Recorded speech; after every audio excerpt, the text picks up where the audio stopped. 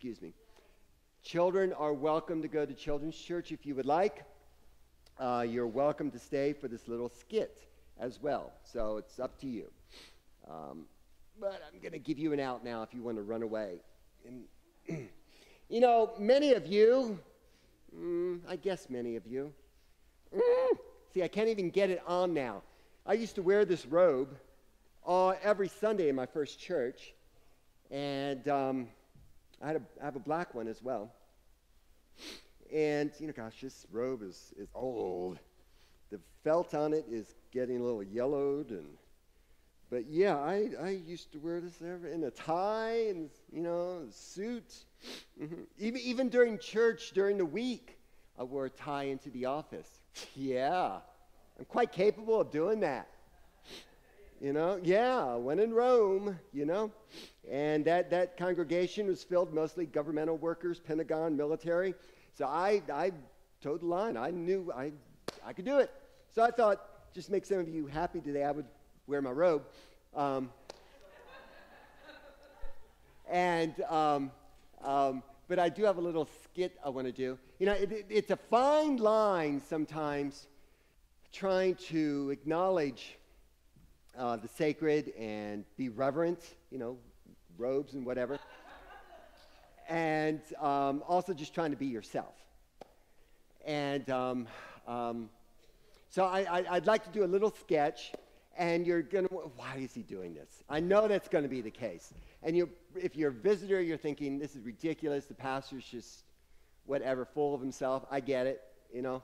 But um, if you hang in there for the message, I, am I'm, I'm hoping that, that, that there'll, there'll, be a reason and a purpose for, for the madness um, that, may, that may transpire. I'm not even quite sure. I, I, there's no way I could have walked through this. So I'm just walking through it for the first time with you. I want to call this a little sketch. Um, it's after a CD that I have um, uh, called uh, Puccini and Pasta. Okay? Uh, Puccini has uh, written some great operas, and we're going to listen to a beautiful aria that fits so well in with you know wearing a robe and being classical and um, but you know you cannot listen to good Italian aria without eating some pasta. So I'm just going to start this piece of music and hopefully I will be served some pasta. Huh. We'll get this going.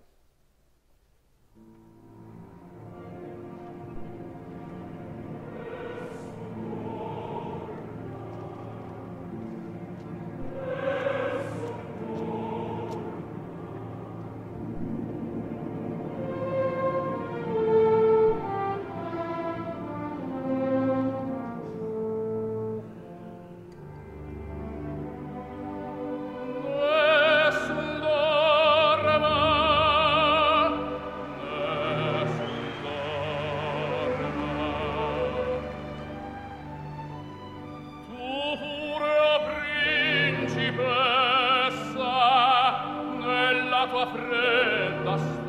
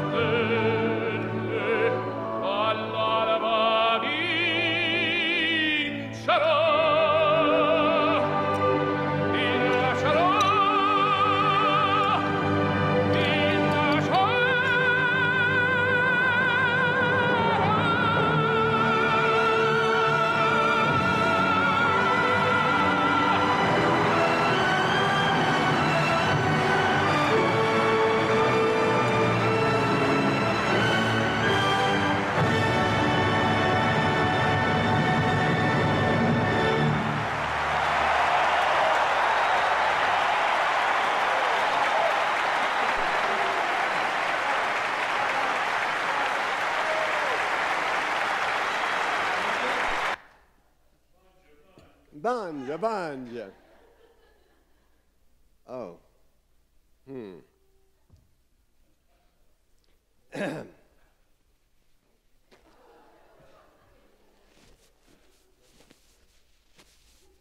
Thirty years I've had this robe.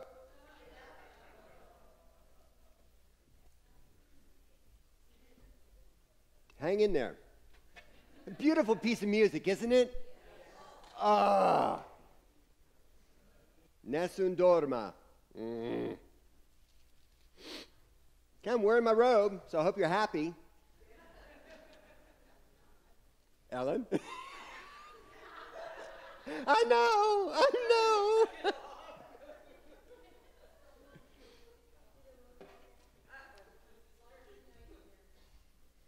Today, uh, Pavarotti.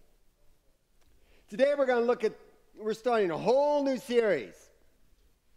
And this series may go for a while because we are going to be talking about the greatest sermon ever given, referred to as the Sermon on the Mount. Okay? It's a beautiful message. In fact, I'm thinking by the end of this series, we may just spend a Sunday and I'm just going to share with you from the heart the entire sermon.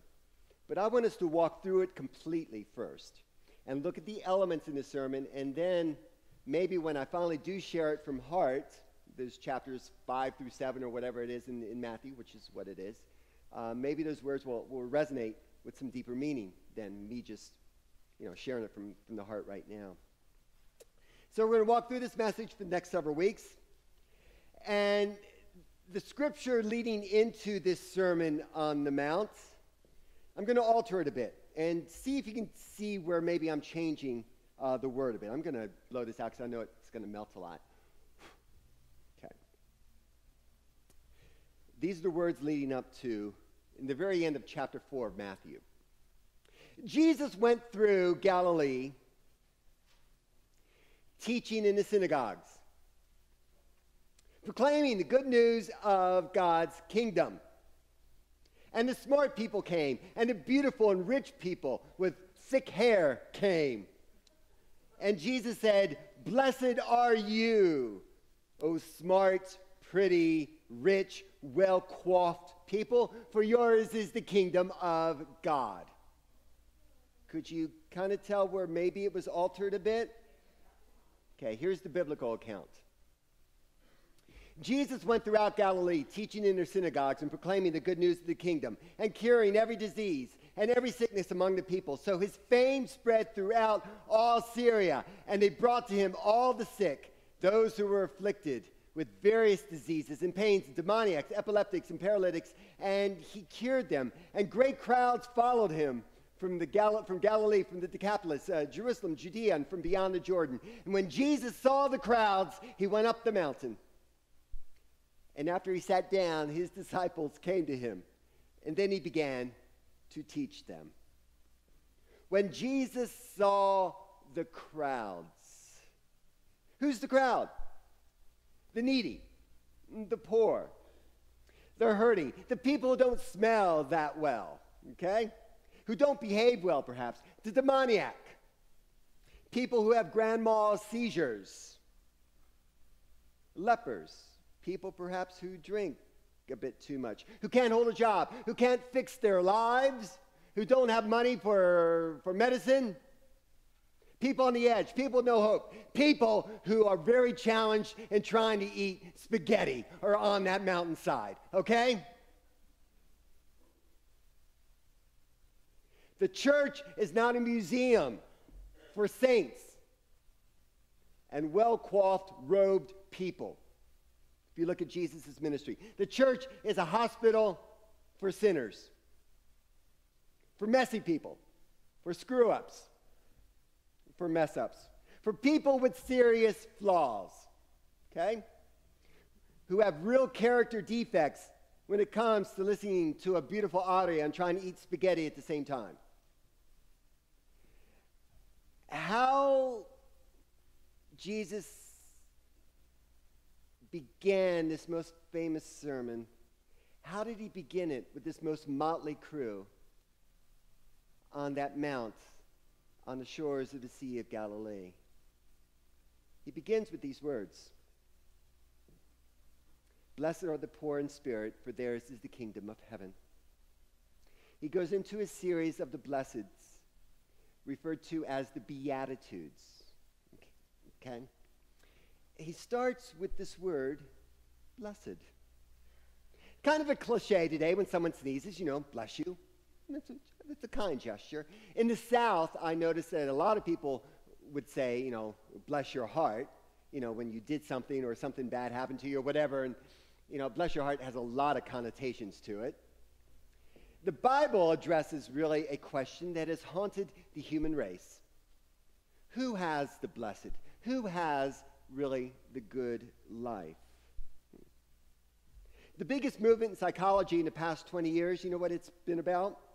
Research on happiness, on well being, and on flourishing. Who has the good life? Well, according to one car ad, it was an ad that came out a number of years ago for Mercedes Benz. Uh, the, the, the, the caption was, you know, chase happiness in a car that can catch it. Right? And the message in the magazine called The Good Life, it's kind of interesting. The message is kind of paradoxical because most of the articles in the magazine The Good Life deal with diet and fine dining. So you're trying to kind of balance those two a bit. My friend Mark Walker, he lives in Sonoma, California, works at Sonoma uh, State University. He's a professor in, in the archaeological department there. And he sent a picture recently on Facebook, and he was drinking some wine in Sonoma, you know, Sonoma Valley, wine country. And beneath it was the caption, Living the Dream. Isn't that what people in California say? Living the dream, baby. It's where the sun's always shining. Yeah, it's what you hear. But who's really living the dream? The blessed life. Is living a dream, living it in California in Sonoma Valley? Perhaps for some people.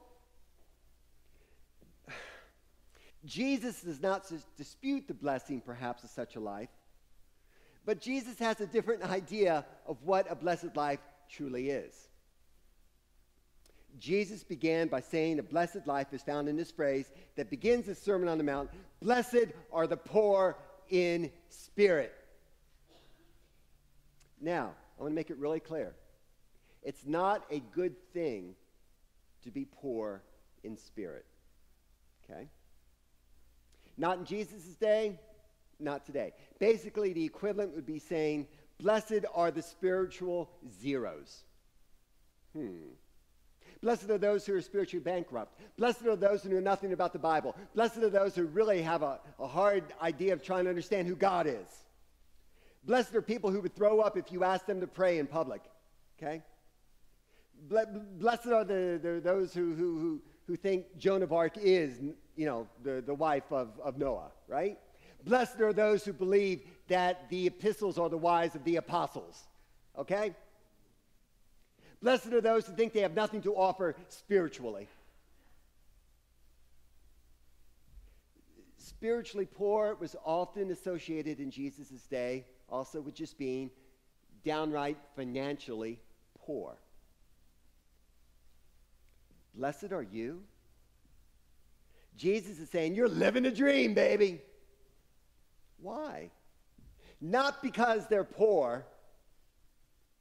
It's because now through Jesus, they have, you have the possibility of life in the presence and the power and the favor and the love and the guidance and the strength of Almighty God. Mm-hmm. Who's come down to you. Forgiveness and grace is being offered to you. Wisdom and healing and joy. Mm. Acceptance is available, regardless of how the world views you or sees you. Poor in spirit, blessed by Jesus not because of their meritorious behavior, but in spite of, I'll say it, their supposed and very real, deplorable conditions, perhaps you could say. Grace has been poured out upon them despite being viewed, perhaps, as a collection of human deplorables on the side of that mountain. That's who Jesus chooses for his disciples. That's us. And everybody's welcomed. Nobody's perfect. Jesus contrasts his beatitudes, these blessings that he offers in his sermon, against who the world sees as eligible for the good life. The world has its list of who's blessed, right? Living the dream. Blessed are the talented, the beautiful, the educated, the CEOs, the VIPs, the MBAs, the PhDs, whatever. Blessed are the slender and, you know, whatever. And then the people who are not on that list may begin to believe, I'm not eligible for the good life. I'm missing out on the good life. And Jesus is saying, no, no, no, no, no, no, no. The world has it wrong okay? And I'm here to set things right. Each of us need to base our life on something. We do. And, and we do. You know, who's well off? Who's blessed? Who's living a dream? Well, Jesus wants to set the record straight.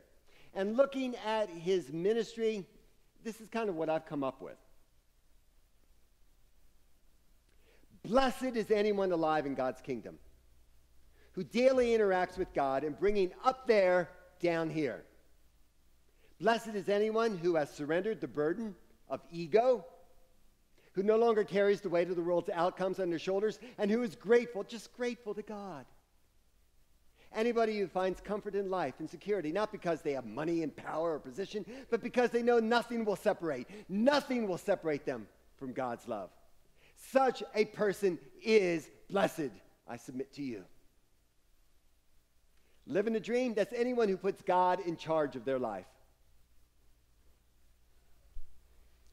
It's to be blessed no matter what happens. Your future is secured, your present is redeemed. In the Beatitude, these, these, these words of blessings reveal that even the most deprived and insignificant can now be blessed by living in the kingdom of God. You are living the dream, baby, is what Jesus is saying to them. I know you don't believe it, but I'm here to tell you otherwise. Blessed are the poor in spirit. The next beatitude, blessed are those who mourn. Okay. And who's that? That could be a person whose spouse has left them. That could be a person who's lost their job because of something they did. That could be a person who views themselves as a terrible person. Blessed are you who wants to be a parent, but you are unable to. Blessed are the chronically depressed and clinically anxious. Why blessed?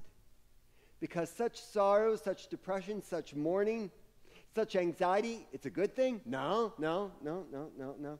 It's now, now because, because Jesus has come along. And he simply says to you, you can come into my kingdom. I'll be with you. You're not alone. You have a future. You may be at the end of your rope, but you're not at the end of mine. So it goes throughout these beatitudes that begin this sermon. You know, blessed are the meek. Nobody's apart from God. Okay? God, Jesus puts the meek on the fast track here. No company in their right mind would have, you know, the meek employee of the month. We don't hear about that, do we? No one will list meekness on Match.com in their profile. Yeah, I'm a really meek person. Now, that's real appealing. Meekness, basically, blessed are the charisma challenged. Blessed are the socially inept. Why? Because you're going to inherit the earth.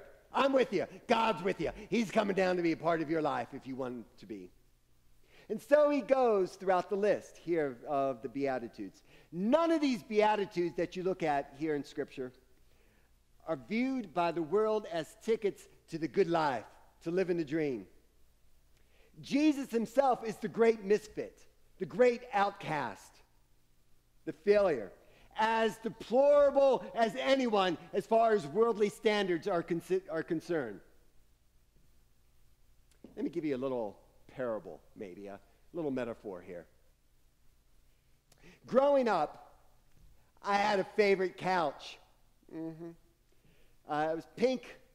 Uh, it's kind of pilled, you know, all those little bumps around it. Um, it was, had these big buttons on it, too. It was a tri-sectional couch.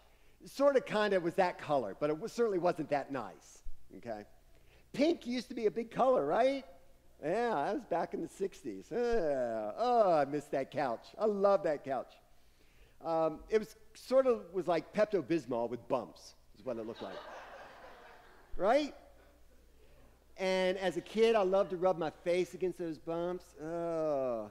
My brother and I loved to play on that couch, bounce on it big time. We would create forts. We'd pull it apart and put our bed sheets or blankets over it and have a little fort in the middle of the living room. We ate on it. We slept on it. We danced on it. Um, we pretty much did everything on it. Yeah, we, we, I'm sure we talked on the phone on it too. We slept on it, without a doubt. When we were sick, we would lay on it with our chest covered with Vicks VapoRub, right? Get all over the couch. Mm, that was the place to go when you were sick. Great couch. But it was a mess. It was a mess. Day came, for some reason, that mom decided she wanted an upgrade. New couch, beige with floral design. It was so nice. You know how this works. It made the rest of the room look shabby, right? We could no longer sleep on it, play on it, jump on it. And the key number one thing we should never do is eat on it. Yep. For the day that we did, my mom made it very clear was the day that we would die. then the day of the fall came. Suddenly, the new couch had a new floral design on it. And it wasn't of fabric, but of jelly, like from a jelly filled donut. The call of my mom that day was not the call to her two boys to come in for dinner, it was the call of the wild, full of fire and brimstone. Boys, see that stain?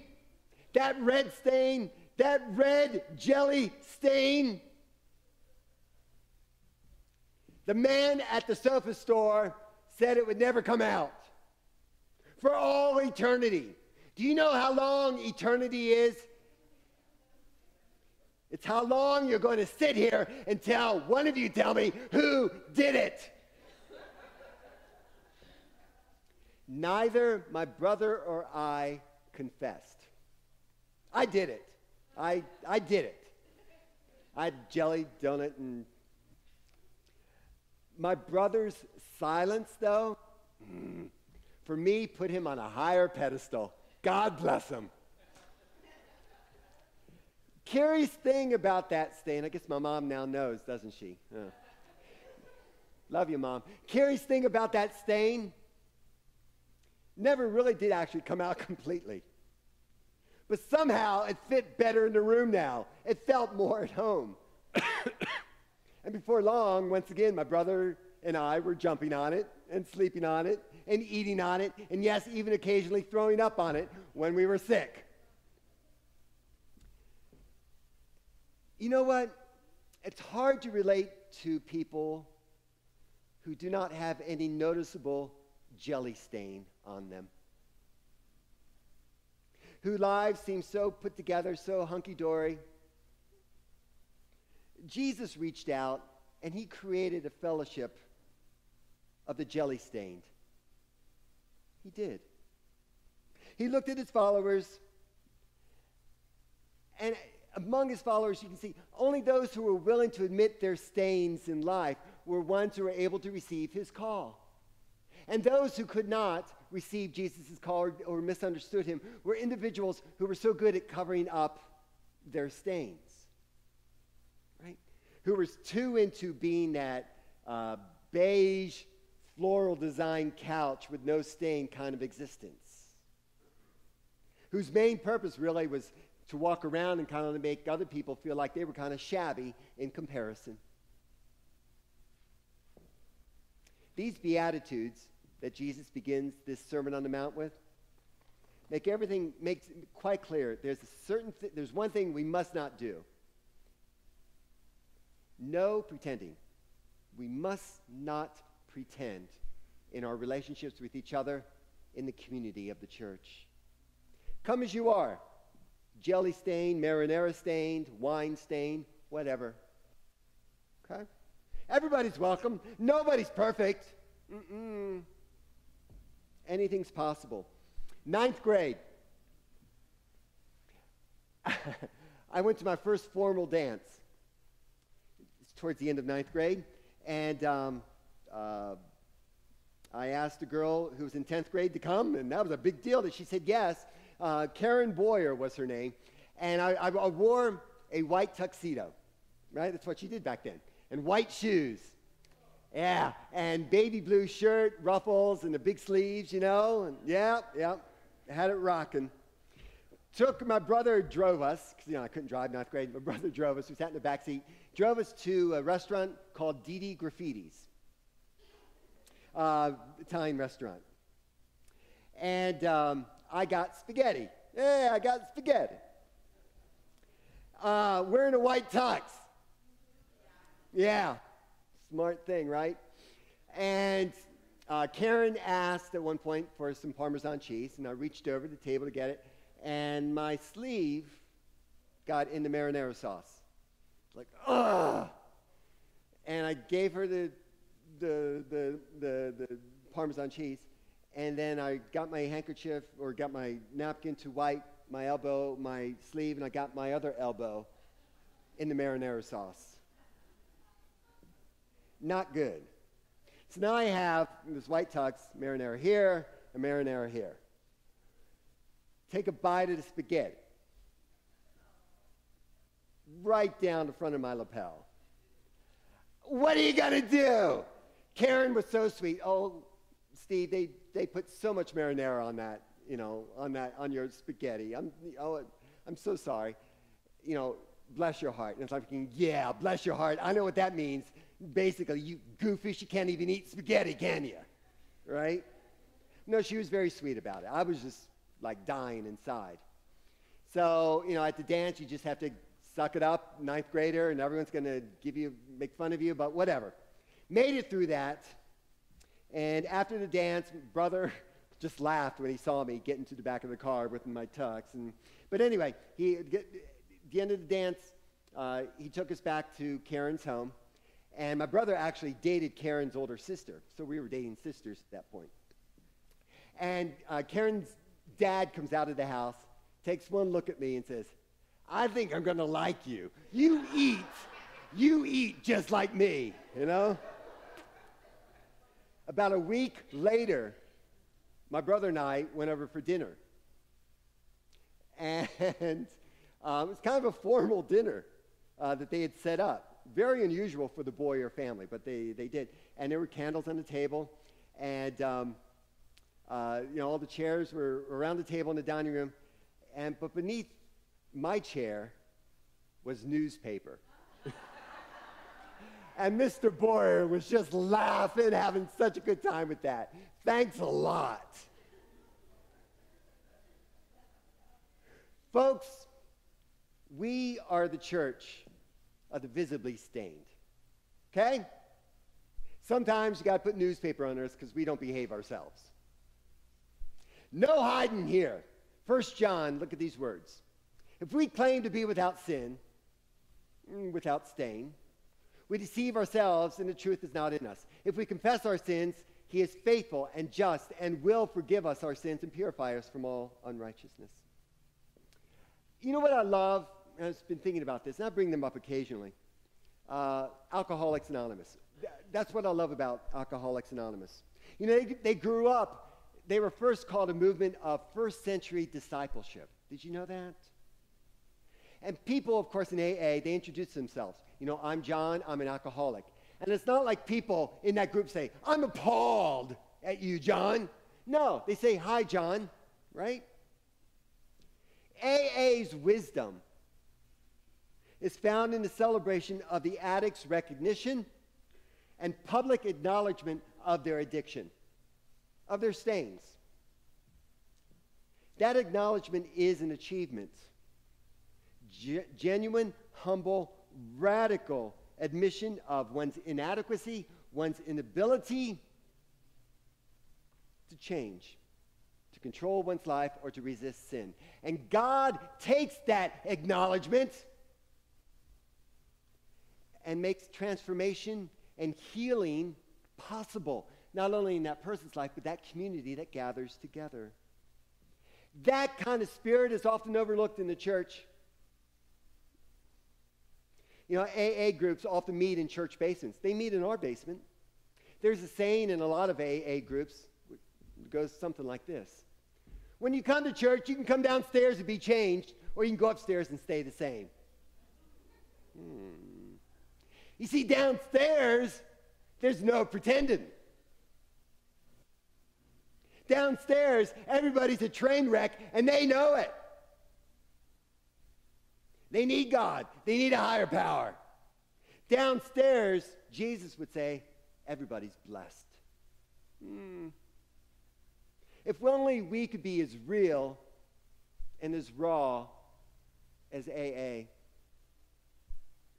I want to live without pretending. I want to live without pretending I'm not as nice or as modest or as brave as I pretend to be. I get prickly. I get defensive. I withdraw. I get envious. I, I covet. I deceive. I do. The stains are very evident. There are churches where it appears like no one has sinned for the past 20 years. and those churches are dying, at least spiritually. What kills the church is not sin, it's pretending that there is no sin or stain there. God help us to be the church of the open stain and practice acknowledging our inadequacies. You know, through church history, that's called confession of sin. Hmm. And such confession can be seen as an achievement to be celebrated. So I want you right now to turn to a person next to you and practice saying these words I'm a lovable, jelly stained child of God. Just turn to each other.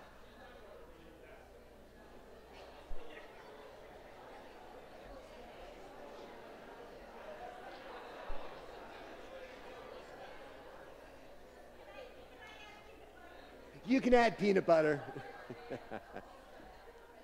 Acknowledge your inadequacies.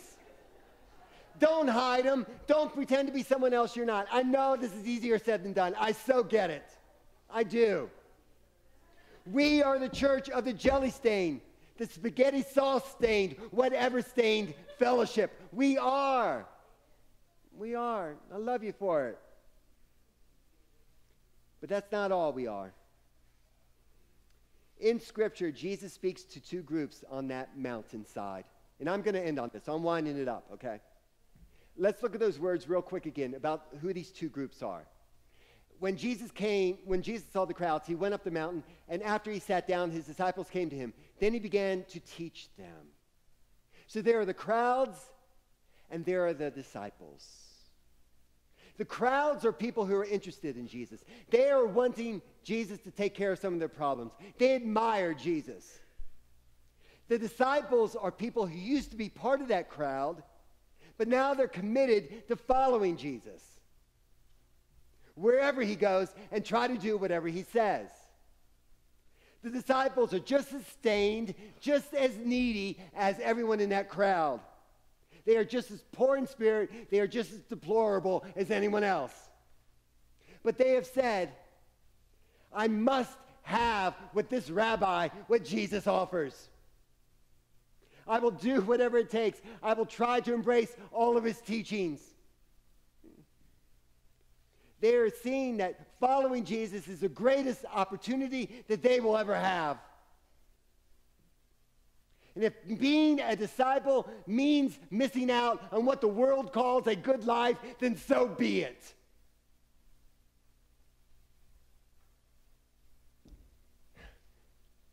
They did it with joy in following him. They became his students, they became his apprentices. Every so often, a person leaves the crowd and becomes a disciple. They stop admiring Jesus and they start following him and they take it serious. Blessed, blessed, blessed, blessed. That could be you if you embrace that call to follow. That's the journey we, we are on in this series to become disciples of Jesus and to understand what that means. And there's no journey in the world like it. And it's a journey we're going to walk to together, yes, stains and all. Let us do this together to the glory of God. Amen. Amen.